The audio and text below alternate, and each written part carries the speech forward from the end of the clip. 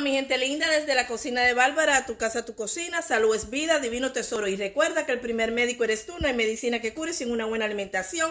Salud es vida, divino tesoro. Recuerden todo mi lema, no hay nada como la comida hecha en casa. Y si el que se cuida se enferma, dígame usted que no se cuida por acá. Mire, la recetica que me gusta mucho, que es la lechita lactose free, esta es la que estamos consumiendo, y la mantequilla de maní. Señores, esto está es rico y espectacular. Si tiene puesto un poquito de hielo, queda así estilito frappé, usted lo pasa por su batidora, esto es espectacular, por lo menos a mí me da energía, me gusta mucho, es muy bueno para la salud, me encanta. Usted busque por allá por internet todos los beneficios que tiene esta leche y la mantequilla de maní y esta combinación es rica y perfecta. Lo importante es cómo usted se va a sentir porque verdaderamente a mí me ha ayudado mucho, muy bueno para la energía. Yo, como pueden ver, esta es la porción que me tomo, esta copita, esto es delicioso, la combinación de la leche con la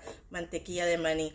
Esto es delicioso, ustedes saben todos los beneficios que tienen la mantequilla de maní. A mí me gusta esta marca original, anuncio no pagado, es muy buena. Siempre compro en lo que es la mantequilla que sea de la buena, porque los beneficios que tiene la mantequilla de maní son muy buenas. A mi esposo le está cayendo muy bien esta leche, a mí la consumimos por mucho tiempo, porque a los dos nos encanta cuidarnos la salud y eso para nosotros es prioridad. Así que desde la cocina de Bárbara, tu casa, tu cocina, salud es vida, divino tesoro.